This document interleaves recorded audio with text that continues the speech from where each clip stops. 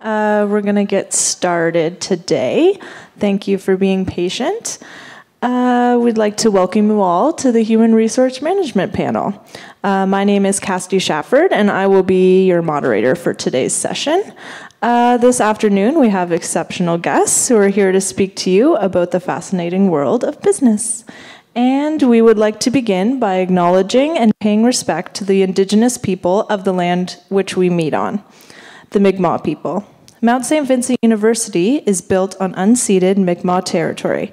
We also pay respect to the knowledge embedded in the Aboriginal custodians of this land and to the elders, past, present, and future. So before we get started, we just have a couple hosts keeping items we want to talk about. Uh, in case of an emergency, uh, we just like everybody to evacuate in the nearest fire exit. So that way, that way. And we encourage nobody to exit through the top doors. If you have to leave but from a personal emergency, please take the time to exit through the bottom doors. Uh, as many of you know, this is a learning passport eligible event. Uh, in order to keep things efficient, we just ask that you complete your survey and activity booklet page before the end, where you will get your stamp from Miriam. If you didn't bring your passport or don't have it yet, we have activity pages for you to fill out. And we ask you please to all turn off or mute your cell phones, and please do not go on them while our speakers are talking. I guess that includes our speakers. um, yes, and we will have a designated time for questions at the end of the panel, so please postpone any questions you have to the end. Uh, yeah, awesome. So we'll get started. Uh, so, question one, we'll start at the end. Uh, please introduce yourself and take a few minutes to tell us about where you work today, your role, and how you made your way into the field of HRM. Good afternoon, everybody. My name is Katarina Hakansson. I'm an HR operations manager for Lindsay Construction. At Lindsay Construction operates in the Atlantic provinces, so I do HR for all four. Um, the way I got into HR, I did a commerce degree and then I went and did an advanced diploma in HR management. I started in a very entry level position with Shannex Healthcare, uh, doing payroll, benefits administration, kind of frontline employee relations. I was promoted through two roles with Shannex into different HR kind of one was more of a business manager role, and then I went into corporate office and did an HR business partner role where I got to do a lot with collective agreements and labor relations, uh, collective bargaining. So if you're interested in unionized environments, I have some good stories.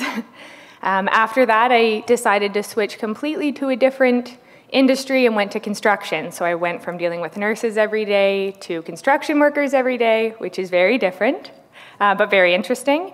I started there as a generalist and about six months ago moved into a managerial position. So that's a little bit about me. Good afternoon, everyone. Uh, my name is Erin Mullaly, and I'm the Talent Acquisition Manager for Enterprise Holdings here in Atlantic, Canada. So, Enterprise, we're the largest transportation service provider in the world. So, you'd know us by our brands of Enterprise Rent-A-Car, National and Alamo, but we also have truck and fleet and even, you know, sales divisions. Um, so, I started with Enterprise about 16 years ago as a new graduate. I graduated with a BSc in biology and a minor in marketing.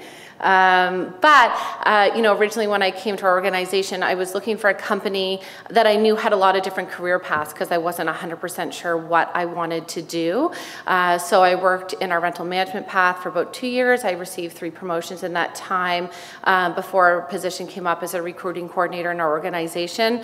I didn't have any formal training with respect to human resources, um, but I knew from my experiences with the company thus far that it could be a really interesting career path. So I started as as a coordinator, moved to supervisor, and now as a manager. So I oversee um, all of our external hiring for about our 70 rental locations here at Atlantic Canada and also manage our internal mobility process. So that's, you know, hiring and selection and onboarding, uh, employment branding, staffing plans, all of those responsibilities fall under myself.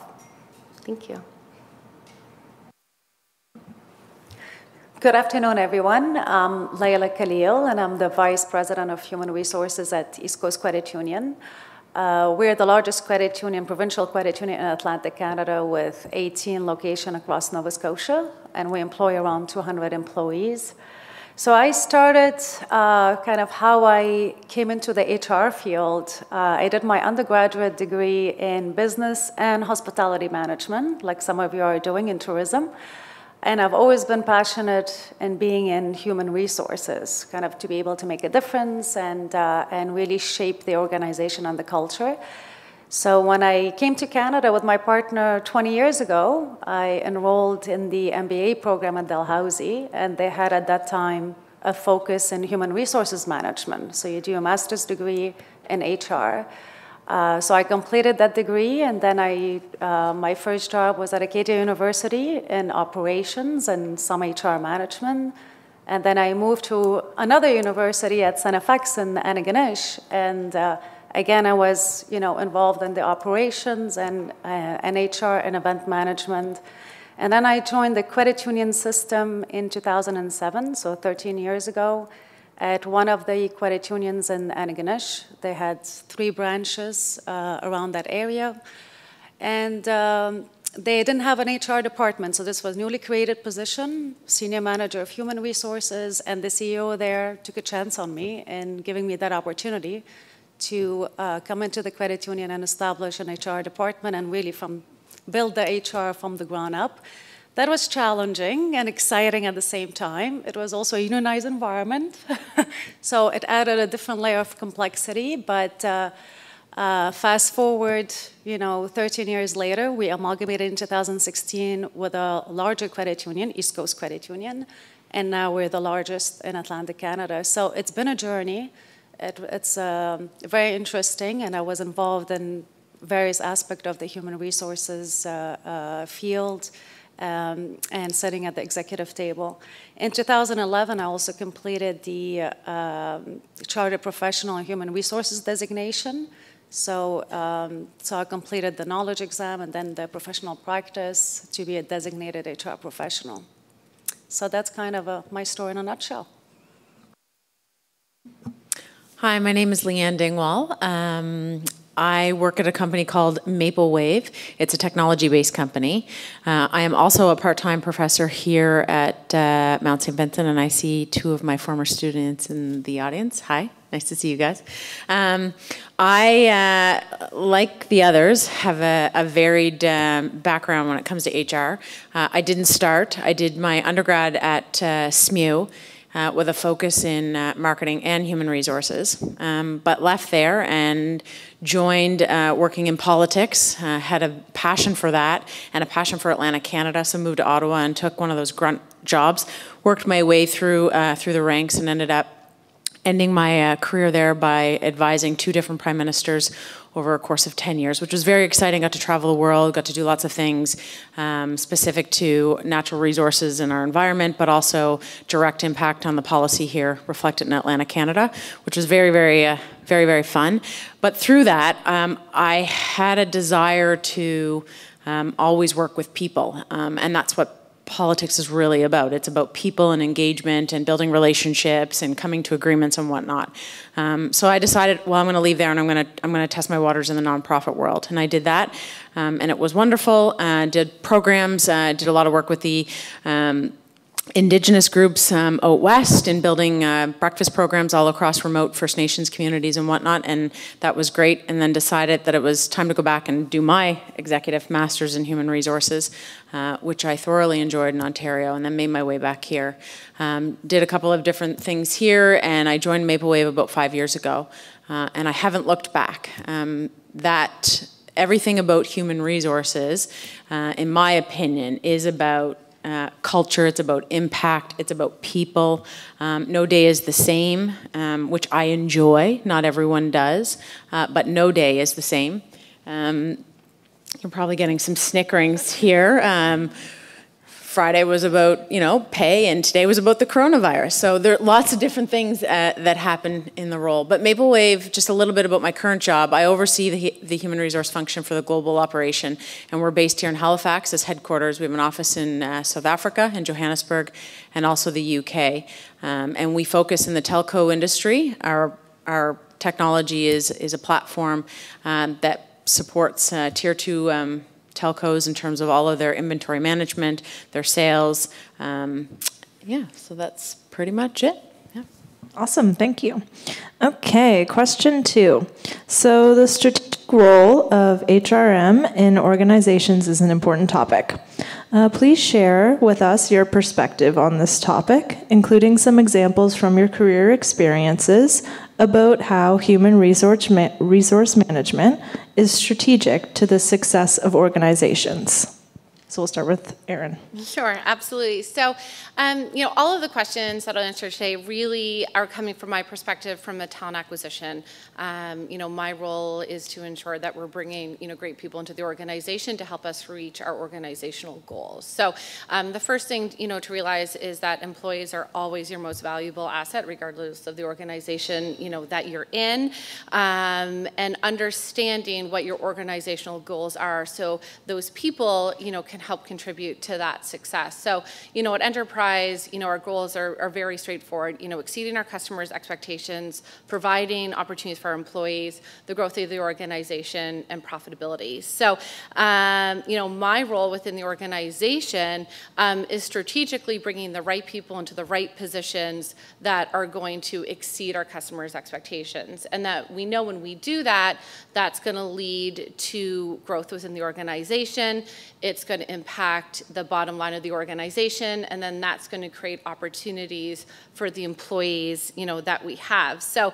Um, not just bringing great people into the organization, but understanding as well how you hire costs money to that organization and how you can have a return on that investment. So, hiring costs money, losing people costs money, uh, especially top talent. That's going to cost you a lot.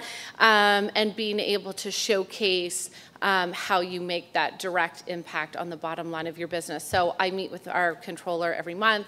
I talk about our hiring process, where we're spending money, where that's effective, um, being able to speak to the measurables of everything that I do um, is something, is a way that I can show the value within the organization. So that's it essentially from a, a talent acquisition standpoint.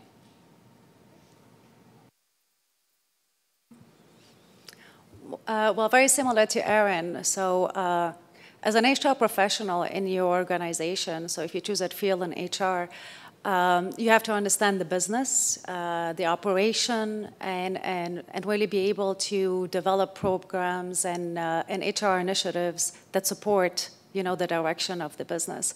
So in my role, uh, when we develop our business plan, when we sit down with our uh, executives to see kind of what, what we need to achieve this year and uh, work on the budget, um, you know, look at the direction of the, you know, of the credit union, um, you know, we're there discussing, you know, all the uh, HR uh, initiatives that we need to develop to support the achievement of the business objectives. So, for example, we're very much focused uh, over the next couple of years at the credit union with our digital transformation, and this is kind of in the banking industry and all the changes that are happening.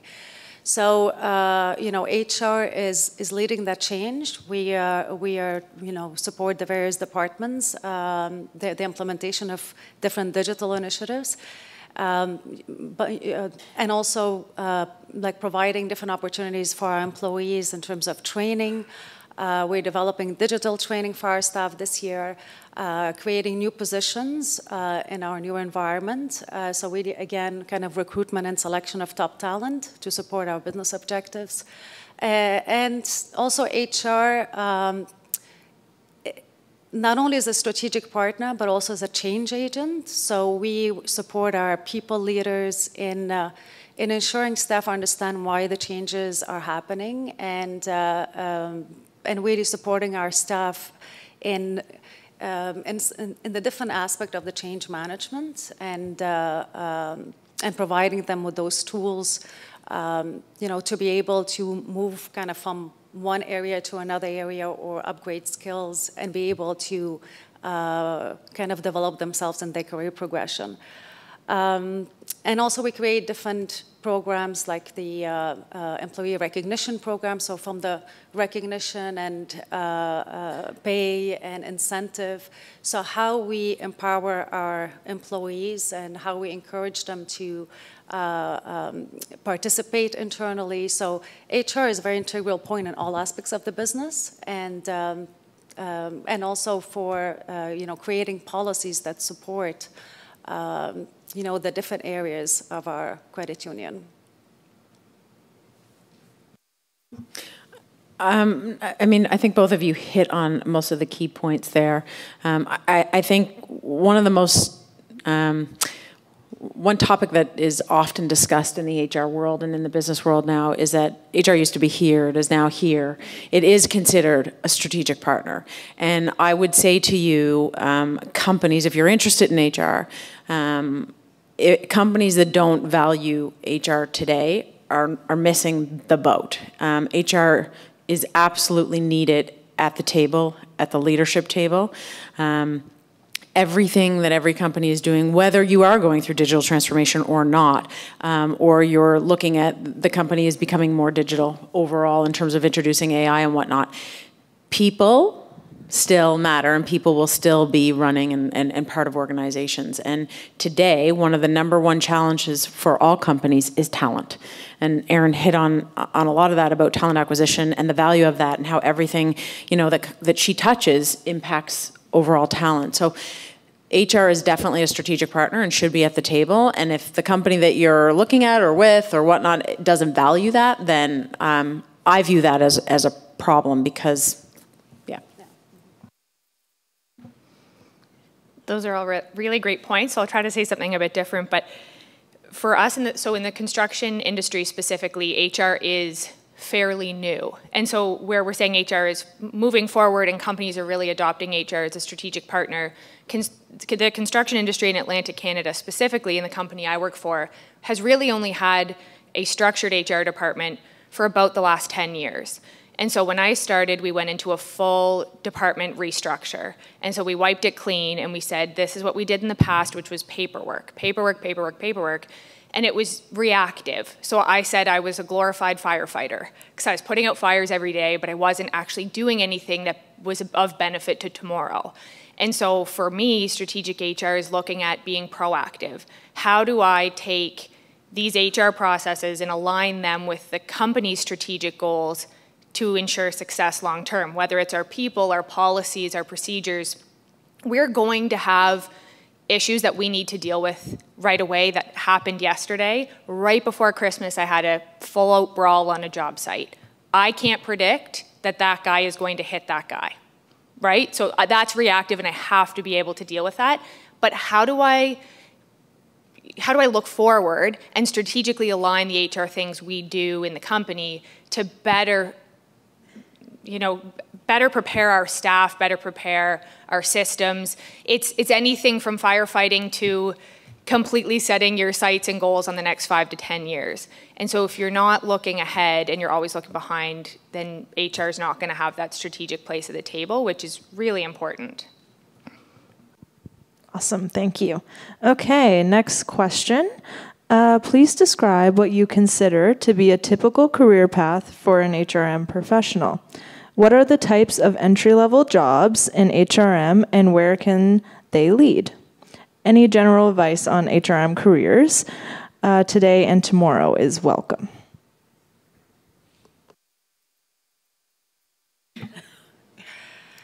Well, typical, you know, HRM career. I mean, we all had different kind of careers in human resource and how we landed in HR. So, um, just you know, it depends on kind of your background, education, but if you're really interested in a human resources career, there's several paths. Even if you have an undergrad degree in a different field, you can still go into HR and take courses and you know get your designation.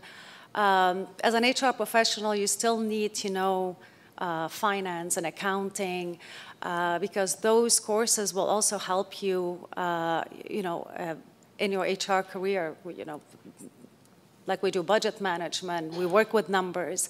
All the programs or services that we develop uh, at our organization, you have to prove and kind of the return on investment and and show you know the benefit of having those programs in place. So uh, um, and so kind of my uh, background, like I did my undergrad in business and hospitality, but then I moved into doing my master's and then getting the designation. Um, for in, in, terms of careers, entry-level careers, um, you know, there's HR assistant, HR coordinator, kind of the entry level where you support um, the HR team with kind of benefits, payroll, HR projects, and it's, you know, my advice when somebody's looking for a career in HR is look for more of a generous, uh, you know, role when you um, go into, you know, as a first entry-level job, because that will give you a very good understanding of human resources and the different areas um, that HR impacts the organization. So whether, you know, working on, you know, salaries or compensation, payroll, benefits, um, recognition, training and development. So as a generalist, you gain a really good understanding, and then you can uh, move up, you know, where uh, if it's a specialized role, for example, you, you really like compensation, you can be a compensation specialist. Or if you really like like the training and development side of HR, then you can be a learning and development specialist. So there are different positions that exist out there that somebody can be specialized in, uh, or continue to be a generalist and then uh, move into a, uh, more of a senior management role in HR where you oversee, um, you know, an HR team uh, and uh, be on the kind of more the strategic HR and be with the executive team and senior management team. So that's kind of a higher level uh, um, of a senior role, kind of once you have several years of experience in HR. Uh, I'm going to add something to that. Um, I think it's wonderful that we're here sitting on an HR panel today, and I'm, my panel members might, you know, slap me for saying this since we're all in HR. But I think the most important thing to ask yourself is, what do you value and what do you want to do? Because it's easy for us to sit here and say you should go and be um, an assistant and a generalist and all those things, which they're all great entry level careers and you'll move through. But none of us sitting here went through that path correct? Like it wasn't it wasn't a straight line like that. So ask yourself what you value. Look to see what types of com companies align with your values, um, and then see where the types of industries that you want to fit in, and see how you can you can make that happen because it's not going to fall in your lap. That's not how it works today. You're going to have to work for it. You're going to have to understand. You're going to have to be proactive. You're going to have to network, which we'll talk later about. But you, you really should ask yourself what you value and what you want to do and what do you like to do. I like people. I like talking to people. I like building relationships. I like firefighting. Like I like fixing problems. I don't want to do that every day and deal with brawls on the on the work work floor, but I, I like that. And I knew I didn't know when I graduated that I was going to be a VP of Human Resources. I really didn't know that. Um, but I'm really happy with what I do today, and I wouldn't change any of it. But it took me a while to get there. So really ask yourself, what excites you? What are you passionate about? What industries are you excited about? And you know, do you, do you align from a values perspective with company X, Y, or Z? And I think to build on that, if you know HR is of interest to you, and there are probably some of you in the room that are thinking, I want to be in HR, but I don't know how or what, it really is that kind of generalist position. Get in somewhere and see, try as much as you can. My first role was a maternity leave contract. I had bills to pay. I was terrified to take a 12 month contract, but it was the only thing out there at the time. And I thought, I need experience. And so I kind of took that leap. I could have taken, I worked at a pool. I was an aquatic supervisor going through my education to pay for my education. And I could have stayed there and I could have managed lifeguards and taught swimming lessons, and that would have been great. But I needed to take that step to get experience. And what it did was it, I all of a sudden, I, it was a very entry level job. It paid a very entry level salary. I ate a lot of Kraft Dinner. I kid you not. But the experience was incredible. I ran payroll. I administered benefits. I did labor relations. Had employee concerns. But it's where I started to learn what I liked and didn't like about HR. And that's okay because we're not all meant to like everything. I thought recruitment was going to be the coolest thing in the world. And then I had to mass recruit for new nursing homes, and I did not want to look at another resume. It took me about six months before I wanted to do recruiting again, to be really honest with you. But that first job really showed me what I wanted to do, and I really liked that generalist position. Um, from there, I, the company kept me and moved me to another facility, and I had a full time job. So, my thing would be take the chance, even if you're not 100% sure if you, like HR but you don't quite know what aspect, look for an HR assistant role, look for a generalist role that will open your eyes to everything as opposed to one thing that you think you might like. Talent under the boss. Wow. How do I?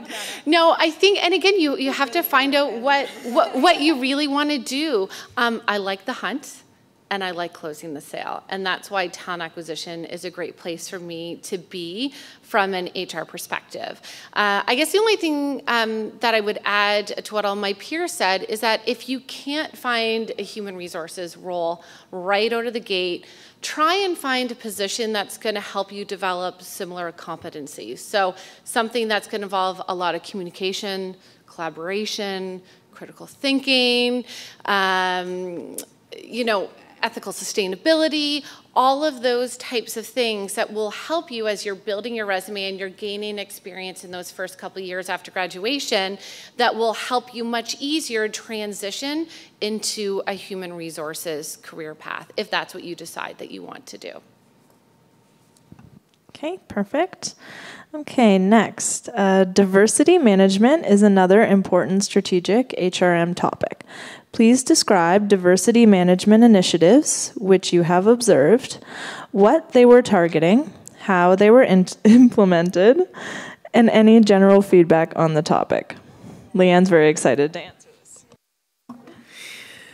Uh, my colleague at the end of the panel, no, just joking. Um, um, diversity management. I, I, what is diversity? Um, what, what, does that mean? It means something to me. It means something to them, and it means something to each and every one of you, and that may be different. Um, in terms of, I'm going to speak directly and cut me off because I could go on and on here. But uh, what Maplewave, uh, when I joined Maplewave um, they said, "Oh yeah, we're very diverse. You know, we operate in like 40 different countries, and we have lots of like great people here from like all over the world." I'm like, "Okay, well, how does that make you diverse?" Well, because we operate in all these other countries and whatnot. That doesn't make you diverse. But when I started to dig and I started to figure out what they meant by that, Diversity, the meaning to Maplewave is diversity of opinions, right? So they respect and they value the opinion of each and every person in that building. Um, how do they do that? By defining that and respecting that. So just because I say X doesn't mean that's you know that is that is that is the gospel, or because she says Y, it doesn't mean that that's right. They really take that into consideration. We do operate in 40 different countries. We do have significant number of countries. I should know the number. I want to say it's 14 different countries represented in in our building. I will have to check that stat, but uh, that makes us think differently. That makes us not be so narrow-minded. That makes our product global. That makes our little headquarters in Dartmouth or in Burnside, Nova Scotia, a global company that's been running for 30 years. Um, so another initiative, we defined that as a company and we, we just made that a little bit more solid. So then when the company started to grow, we realized, well, how are we going to sustain that? We're growing, we're growing, growing. Our, our leadership table is 50% females. When I started, it was zero. Um, and that wasn't just check a number, Leigh Anne, you are a female, you're going to go on the leadership table. That was that was warranted by the value, the opinion, the role, how that was going to make us better. And every decision that we make, we don't we don't necessarily say, okay, you know, does this have a diversity angle? But that, that is part of our behavior. It's part of our norm. We've built that into our DNA. We've built that into our values, how we build our product, how we recruit, how we um, projects and different programs, how we look at the, you know our community involvement we take that across everything that we do. So the first thing that we did, and I think it's very important, is we defined what diversity meant to Maplewave. Not me as a person, but what does diversity mean to Maplewave as an organization? We communicated that out. We stand behind that. We remind ourselves of that. And we weave that definition into everything that we do from what I just had noted there. Um, well, just to add to my colleagues' uh, comments, I mean, it's uh, really diversity. It's, it is very kind of, you know, subjective. You know, to you means something else. Like to us, maybe something else. But really, it's the, you know, for us, for the credit union, is diversity of people and thoughts and ideas. Um, so it's the culture that we create. Uh, and accepting each other's differences, each other's opinions, um, and really creating internally, you know, uh, an environment of openness and people not be afraid to speak up or to challenge the status quo. Um, in terms of, you know, defining diversity and having kind of diversity strategy, we're just starting, we're, we're embarking on this journey and uh, this year we're planning kind of diversity and inclusion because they go hand in hand, uh, training for our employees. But training is not enough, just one day, two day training. it's more kind of the, the behavior um, and, uh, and really introducing some flexibility in our policies um, and reaching out to community groups. So we partner with ISANS. We have a very good partnership um, with Ability Nova Scotia, with Halifax Partnerships, and with the communities that we have our branches. Um, we also partner with different organizations and not-for-profit uh, and do a lot of outreach in the communities that we serve. Um, we also are designated employer in the Atlantic Immigration Pilot Program. Again, kind of a different, you know, part of our diversity and becoming more diverse as an organization. But again, it's the people, but also diversity of thoughts, and uh, and really creating that environment um, and that flexibility and encourage, you know, being diverse and accepting of each other's differences. Um, I think that's great. I think that, you know, when we first look at diversity enterprise, you know, we really want our employees to mirror, um, you know, the communities in, in which they represent. Um, obviously, you know, I always love to tie it back to talent acquisition that begins with hiring and selection. Uh, just, uh, but, you know, really it comes down to culture, as you mentioned, uh, and making sure that it, you know, celebrates and understands the value of diversity. Um, this also can't be an HR initiative. This has to be a leadership initiative within an organization because because if your leadership isn't on board, um, your programs, whatever you're trying to implement, will not be successful. Um, so there's a number of different, you know, training that we do with, you know, uh, various levels of our management. Um, you know, we have everything from, you know, formal and informal um, diversity mentorship programs. I think that, you know, that's one of the questions to ask, um, you know, here in the question is, um, you know, I think when you come to formal programs, you need the right people um, to be part of those, both as mentors and mentees.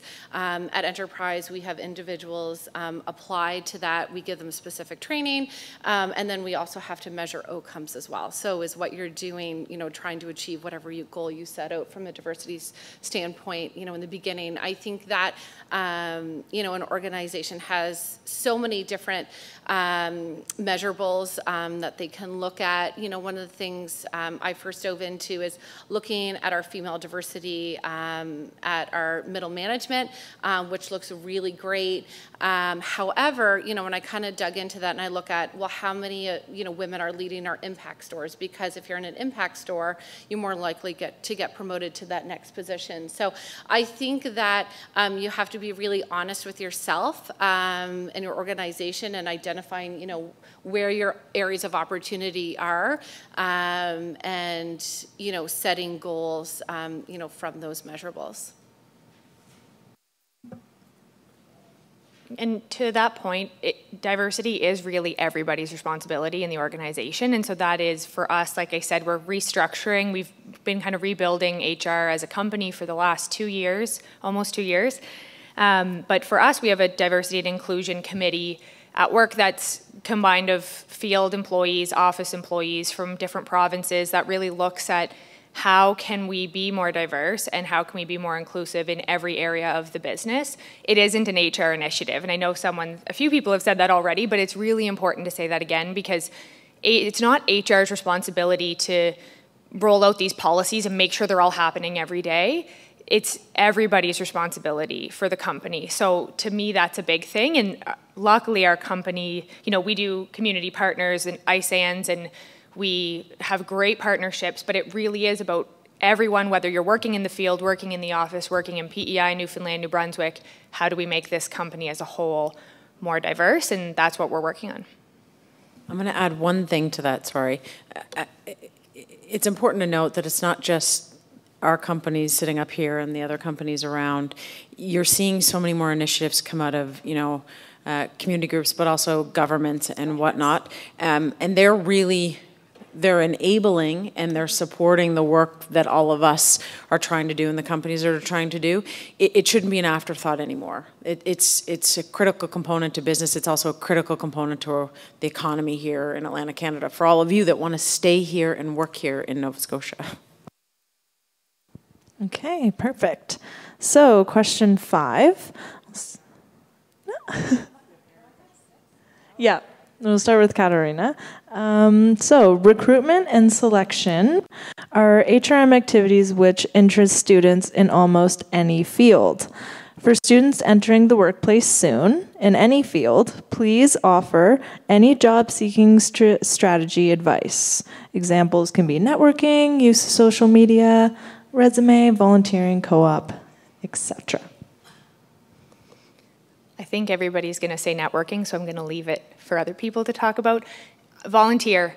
There are a lot of things, and this panel is going to talk about a lot of other things once I stop talking, but volunteer. The volunteer work and the experience you get is just as valuable on your resume. If you can't get that entry level HR job, if you can't find something that you're looking for, volunteer work is the same thing. As an employer, that's what we're looking for that you know how to build relationships, you know how to communicate, you know how to work with others. You know how to work with different personalities, different groups of people. That's really important. Um, so I could touch on all of those things that you talked about, you know, co op placements, but really right now, if you're not volunteering, I know you're busy, school's exhausting, but if you have a chance to volunteer, do it and put that on your resume because that's something to be proud of and that's something that as HR professionals and recruiters, that's what we're looking for. Absolutely. I think that um, every day you are networking. So whether that's at work, you're volunteering, you're involved in a student group or any type of extracurricular activity, um, you're showcasing your personal brand. And the more opportunities to have that, the larger your network will be. And, you know, typically the more opportunities would then you know be presented to you i think that you know, when you're networking we can talk about your elevator pitch but you really have to understand you know who you are what you do and why you do it, why you're passionate about it, and what value that can bring to an organization. So any opportunity you have to you know develop those competencies you know that I mentioned earlier.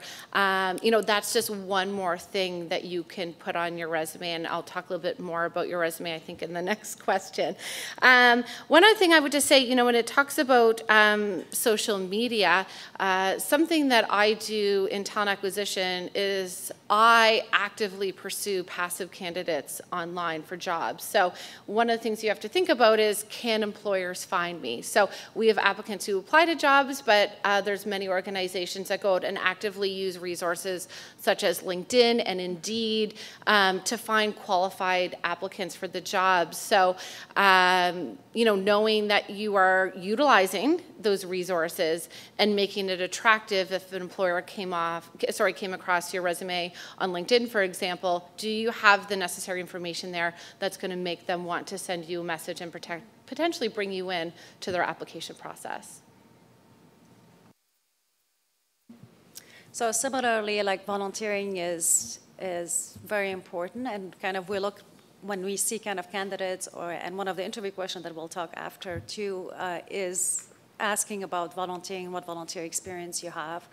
Um, also take advantage of resources at your university, like your career services, have a, you know, the LinkedIn profile is important, kind of be out there. If you're interested in a certain organization or employer, you can follow them on their LinkedIn page. All employers now have, uh, you know, on social media, they're very active. Um, the nice thing then you know, when you graduate, it is kind of a job seeker's market. Uh, you know, years ago when I graduated, this is 20 years ago, it was the opposite.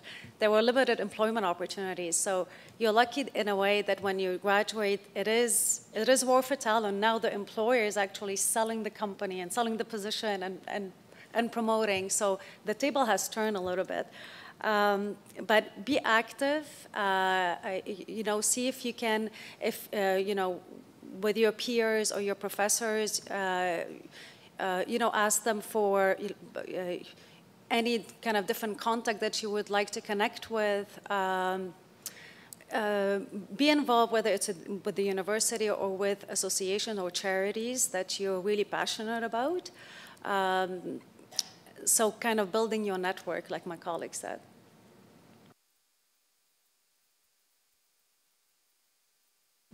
Okay, so we're going to move on to the next one. Uh, so, interviews are important for job seekers and hiring managers. Please share some of your favorite interviewing tips and techniques for both sides of the table. And we'll start with Leigh Anne. Oh, I thought it was that. Okay. Um, uh, yeah, okay. Uh, interviews. Show up on time. Um, that's really important. Uh, not not to laugh, but I, there's nothing that boils my blood more than you know booking uh, an interview and blocking out my calendar and sending a lovely invite and setting everything up and having the room ready and all that stuff and having other people's calendars scheduled and the candidate being five minutes late. I couldn't find the place, or I'm sorry, I got stuck in traffic. Well, you should have left 45 minutes ago. So be on time. Things do happen, but take the two minutes to send an email call, just be courteous, right? Respectful of time. That's really important. Um, don't take anything for granted in the interview. Do not assume that the people sitting across from you have done their job. Now, I can guarantee you that we will all have done our job, but do not take for granted that the uh, the manager of Department X or someone else that's not in HR that has to focus and have, know everything about you has done their job. They're busy, they're running a mile a minute, they're, they're wearing multiple hats. It is your time to shine. It is your time to tell us everything that you can. It is your time to demonstrate how you can solve the solution that we are trying to solve by hiring this role.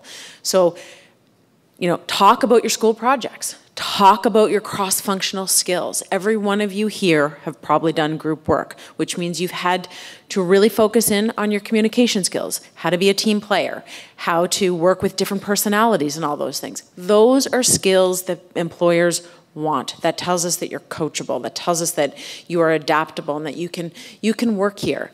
Technical skills are just as, um, from a tech perspective, technical skills are important, but you can also learn them. If you're smart, you can learn things, you can pick it up. It's the softer things that for us, we are really assessing because culture is really, really important in our building. We want to make sure that you're here, you're going to fit with the team, you're going to jive, you're going to have fun, you're going to work hard, you want to grow with us, all those things. So don't take anything for granted when you're sitting, sitting across the table. The other thing before you get to the interview that I think is really important, uh, my two students up there will remember this, this was on our exam, um, but remember that just because you get an email and you're invited to an interview, don't respond with thank you. Ask questions. It's your time to seek information. That's prep starts the minute you put your application in. Ask who's going to participate in the interview. Ask for their names. Then go look them up look up Leigh Anne Dingwall, figure out what I do in the building, check my LinkedIn profile, look at my history, try to find a way that you can weave in a relatable component or ask something. Understand what's happening there. Also, read about the company. You don't have to have everything memorized. Are, I'm, I'm, taking everything that they're going to say. Um, sorry, guys. Uh, but read about the company, know about their mission, know about their values, know about how they're involved in the community, know about the product, know about all the different little things. You don't have to have it memorized, but you want to be able to have a dialogue, you want to be able to have a conversation, and you want to see them. You want them to see that you can fit and that you can relate and that you're here, you want to be here. I mean, those are the, the key things. Don't show up late, read about the company, figure out who's on the panel, and do not take anything for granted because I can tell you, I have sat in a room where my colleagues have not read the resume, have not read my, my brief notes, and they're looking at a piece of paper. So, can you walk me through your history? Like, they, they haven't done it. And it's not out of disrespect, uh, it's out of a time factor. Well, just to add to those very good points. Sorry. Um, it is like an interview, it is a dialogue between the employer and the candidate. So it's your opportunity too to ask about the organization, you know, what, uh, uh, and show enthusiasm. Be honest, you know, on your resume. Uh, whatever you put on your resume should be the truth and not kind of put stuff that you haven't done um, because that's something that we can tell when we ask those questions. So uh, be honest, be transparent. Uh, we all have transferable skills, like in your academic uh, experience. Those are transferable skills to the work environment. Um, and also, I mean, usually at the end of the interview, we ask, do you have any questions for us? You know, have some questions, uh, you know, to the employer because it's your opportunity to gain more information. So uh, it's, it's a little bit disappointing when we hear some candidates, you know, sitting in front of us and after all kind of an hour interview and we ask, do you have any, any questions? And they say, no, thank you, we don't.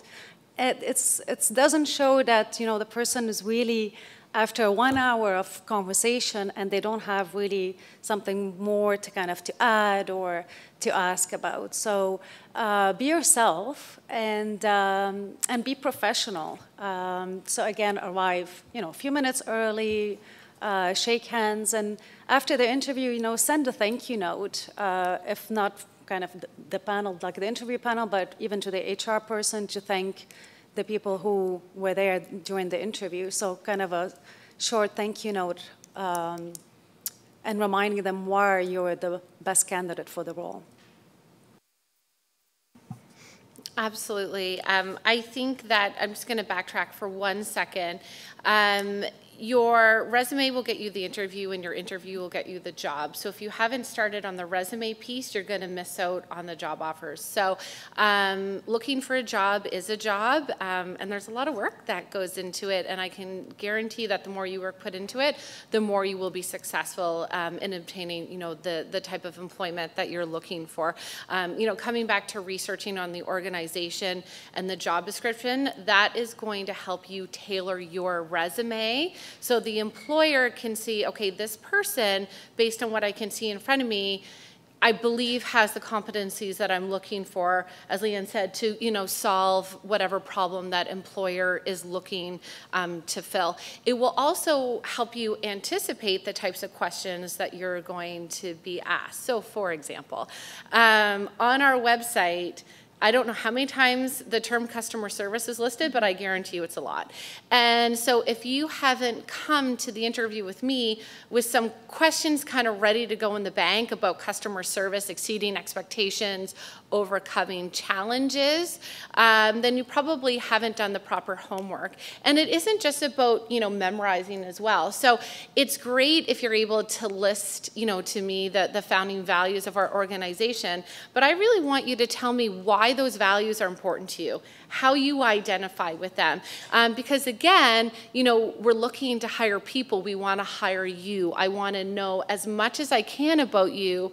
Um, because even if you have the competencies for the job, is this the right environment, you know, for you? I want to make sure that I'm giving you as much information as I can. So the more information you can give me about you, the more information I can provide in return. Because, you know, as we've all talked about here, an interview really um, is a dialogue. And I, I, think the last point I'll make, because I can talk about interviewing for a very, very, very long time, um, sometimes people say the right thing, but they don't have the passion behind what they're saying. So I think that um, you know it's okay to be nervous for an interview. Sometimes when somebody's not nervous at all, it just makes me wonder if you know they're trying to. Yeah, do you do you really want to be there? So you really just have to show your enthusiasm um, for the position. And at the end of an interview, ask for the job and certainly have questions. There, I will very specifically sometimes hold back information um, because I have questions about the match of the candidate and I want to see if they are asking that question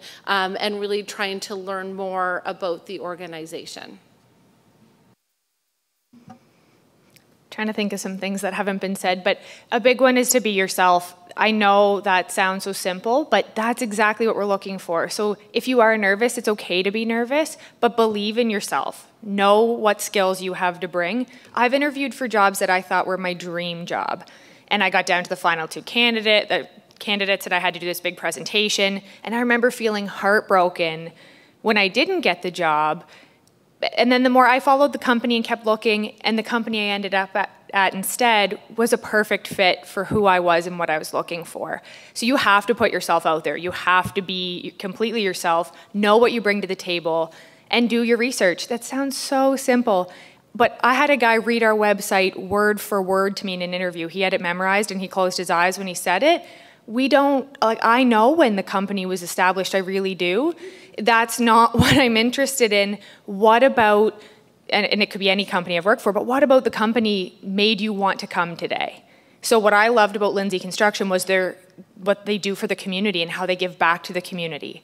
And so for me, that was the, my first thing with them was Hospice Halifax. Okay, so I said, talk to me about hospice, and it threw them off because they didn't realize that it wasn't me listing all the company or the community partners they'd worked with. I spoke to one, and it was because I came from seniors care, and that was important to me. Um, another part is if you don't know, if they ask you a question and you don't know the answer, it's okay not to know. And it's also okay to take a second to breathe. So a lot of candidates think they have to answer, like, you know, so I could use a terrible question, but you know, tell me your strengths. And then they, they just launch. They don't think, they just launch into speaking because they think that the dead air is bad. We get it. We have to think. I just had a ton of time to think and I wrote notes. So take that time if you need a second. They understand that. Another thing, if you don't understand the question, because sometimes we write very confusing questions, ask them to repeat it. That's okay. You're nervous and like like we were saying, if you're not nervous, there, if you're not a little bit nervous, there's probably a little bit of a problem. So ask for that to be repeated if you need it. That's not a bad thing. The last thing I'll say, which is more of a pet peeve, is if you're providing references, please tell the references you've used them. There is nothing more awkward than calling a reference and them saying, Oh, I didn't know she was looking for a job. Or if it's their current employer and their employer doesn't know, so one thing we always do is we always say, we're going to call your references. Are they aware we'll be calling? So a kind of perfect example of that is I have references that I use, and if I apply for a job, I give them the job posting. Here's the job I've applied to. Here's my up-to-date resume, right? They know what I do, we're in contact enough. Provide them with all the information they need so that they can speak to the right things because reference checks aren't very long. It's not 45 minutes on the phone, well, sometimes, depending on who you get on the other end. But give them all the information, set yourself up to succeed from the second that that invite goes out to the second they call your references. Okay, thank you. And our last question. So, career management is important for individuals and organizations. Please share any general career management advice. Perhaps share some examples from your career of things that helped you advance and maybe did not. Examples can be your education, special projects, uh, promotions, coaching, etc.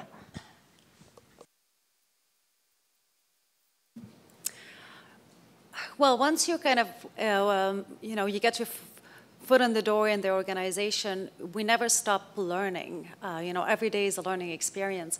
Um, but take advantage of kind of the training and development budget that's you know the company has. Uh, you know, we at the credit union we have kind of a dollar amount for training and development for each of our employees.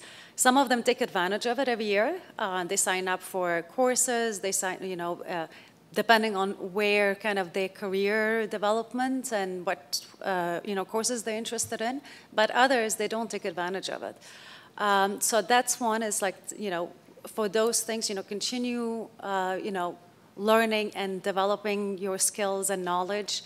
Uh, attend events, conferences. Um, one of the things that the company paid for me was the designation. Uh, you know, um, I spoke to my CEO at that time, and I said I would like to pursue this.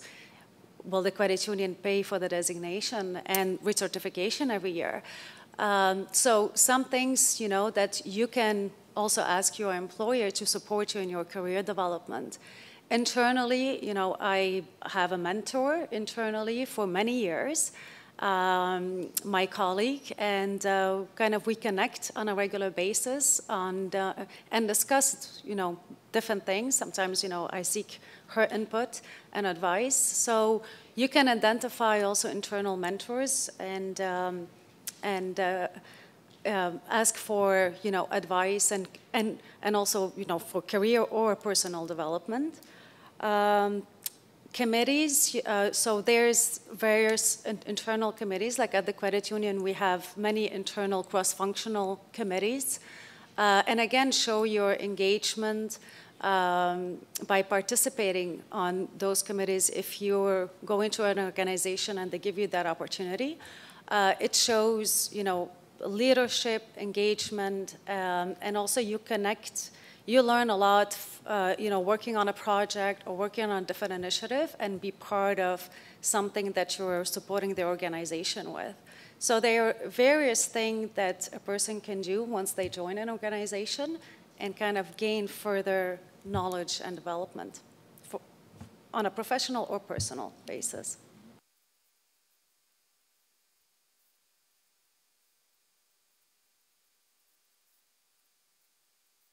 There we go. Sorry, guys.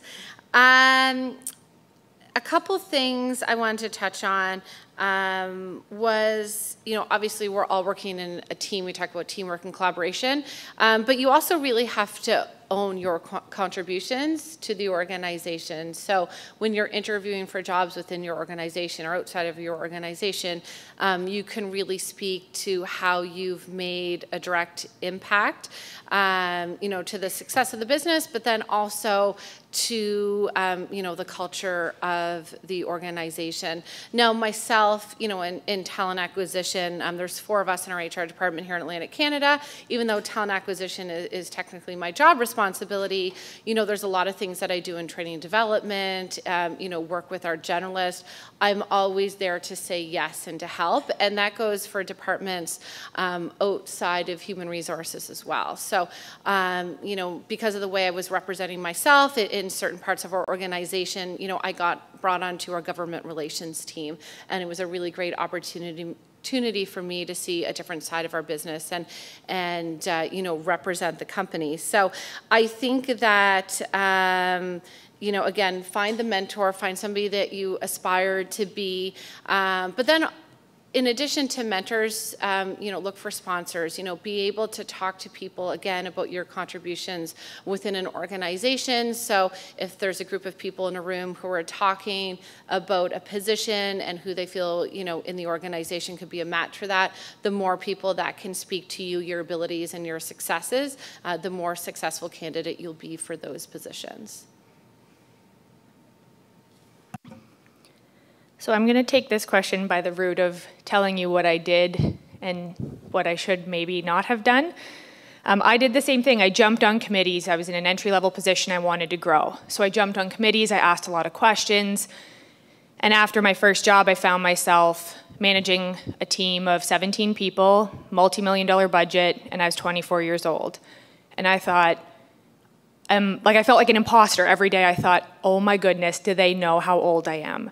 And so one day I actually reminded my boss, like, hey, yeah, so I'm turning 25 this year, like, because I actually thought they forgot for a second, and I thought this is a lot of responsibility. Am I qualified? And I knew I that I wanted to do it, and I loved coming to work every day, but there were some skills that I didn't have that that role really needed. And so for me, I went back to school. I thought, I need, you know, I, I was doing the job and I was doing it well, but I wanted to do it really well. And so I did an MBA part time, nights and weekends after work, because I didn't want to stop working. Um, so I did that for three years and really got those skills that kind of helped me like excel in that role, I guess. In that time, I changed to a job at head office and dealt more with labor relations and kind of went more specific into one area of HR.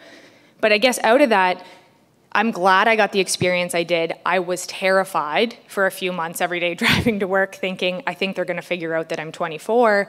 But I really, by going back and learning and continuing to learn, it gave me this incredible insight to how companies work. And I got that in my undergrad, and that was great. But I really wanted to be a leader and be a really good leader. And so, whether it's continuing education, whether it's staying up to date with what's going on, going to conferences, meeting with people, meet, make connections, connect with us. Like, connect with people in HR that you can either have as a mentor or just someone you go for coffee with once a year because you never know where those connections can lead you. So, continue to learn, like I said, whether it's a book, an article, or you go back to school. You're probably all thinking, I don't want to go back to school right now once you're done. But you may, and so keep those doors open and keep talking. Um, I only have a couple things to add. I think the best thing that I can, if I look back on my career um, and what I what I learned from from then and to where I am today, is that I put my hand up and I wasn't scared to put my hand up. I was that person that was like, I have no idea what I'm doing, but I'm gonna put my hand up anyways because it sounds like maybe that'd be cool and I might get some experience out of it. I might fumble, um, but I put my hand up and and sometimes I didn't get chosen when I put my hand up, but sometimes I did get chosen and I got experience. And I didn't succeed every single time. I, I failed miserably sometimes, but I definitely learned from every experience that I had. And I think that that is very important. Sometimes students, and I can say this because I teach part time here, sometimes students take for granted. Um, you know the education in terms of what you're what you're doing, but every project in your class, every presentation that is on your course syllabus, it, it's an experience and it will help you. It will set you up for when you have to present in front of the four of us someday, because that can be really, really scary. And so, all these experiences that you get to take, that you get to do in school, or your first job, or your volunteer work, that like it's very valuable. And don't take it for granted. And put your hand up. And the other thing I think that is a lost skill that I learned in my doesn't I'm not demonstrating it today, but um, that I learned is listen. Listen to people around you. It'll help you be more self-aware. It'll help you understand what what is really happening. Take it all in, ask questions, but listen to the response. Listen to what the leader is saying. Listen to what your colleagues are facing the challenges or your group members in your group. It's really, really important. It's all about learning. And you said it best, like, you know, the more you can absorb, the, the more the more you can be prepared for when you're in that situation. And that will help with your career. And the last the last thing is if you seek feedback, apply it. Some of it will be relevant and some of it won't, but apply it. And think about it because I, I, I, I wouldn't be in my position today if I didn't grow and I can't grow if I'm not if I'm not getting that feedback from the people my mentors my leaders my bosses um, it's not always going to be roses um, and sometimes it will be but but take that feedback and actually apply it and then I, I the, la- the last last thing is have a lot of fun right? If you're not having fun, if you're not aligned with the company values that you work for, as Erin said, like if the passion isn't coming out, then take stock in that and move along. There's all there is lots of opportunities out there, um, but you got to have fun because you're going to spend a lot of time at work. So. Can I jump on that quickly? HR is needed everywhere. So if that's it, is that you can go to different industries. I was in healthcare and then I went to construction. So find out what makes you passionate about going to work every day. You may not find it right away, but you're going to find it. But be very aware that you may not find it right away and keep asking questions and listening to get there because once you find it, it's really worth it. Okay, awesome. Thank you so much, panelists. And now we're going to open it up to the audience. So we have a couple minutes left for a couple questions if anyone feels comfortable asking. It's a small group, some lovely panelists that would love to answer. Does anybody have one? Yeah? Okay, I'm coming.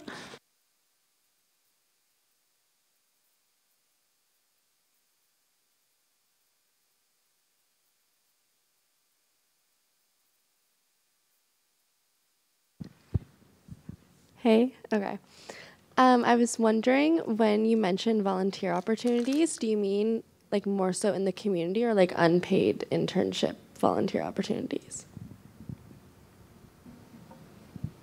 I like I would say it could be a combination of both. I vo- have volunteered at the curling club that I curl out of my whole life, and that's a very relevant experience.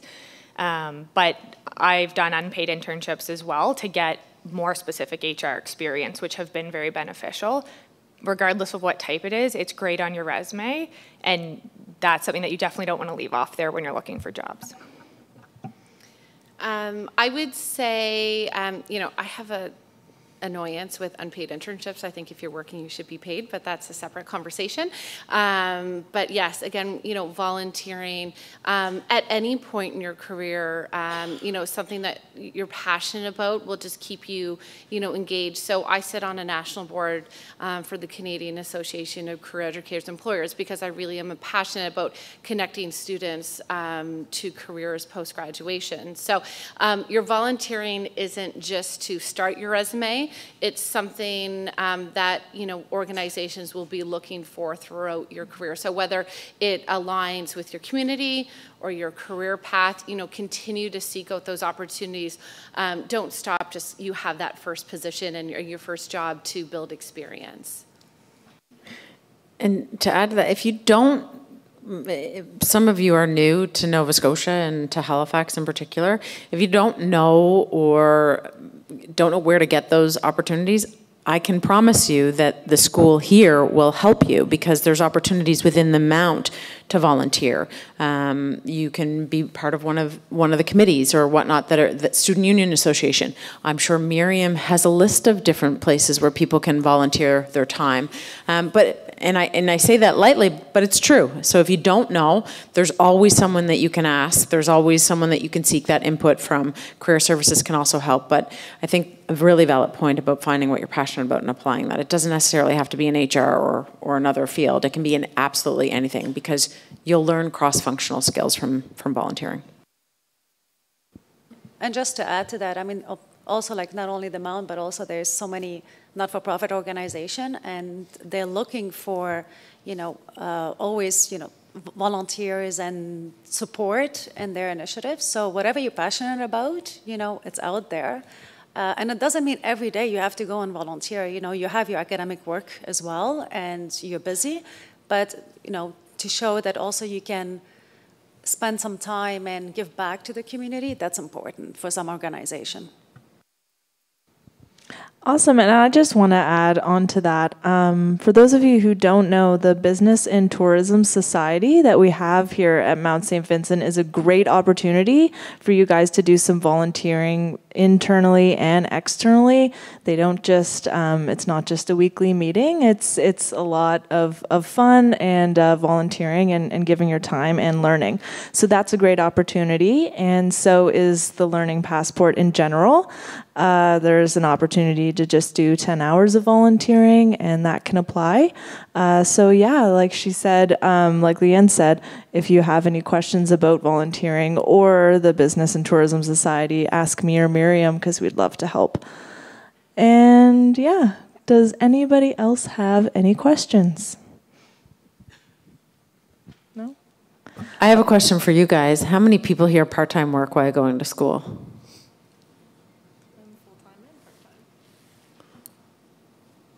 Okay. How many people here are looking to get into HR when you're done school or think they want to get into HR? You should all be coming and talking to us afterwards. Except for Leigh Anne, she has to run. I have to run and pick up my kids. But my emails are accessible, and if you really want to talk to me, find me on LinkedIn or ask Miriam. She has it. Okay, we would like to give a final thank you to all of our panelists who came here today, and thank you all for attending.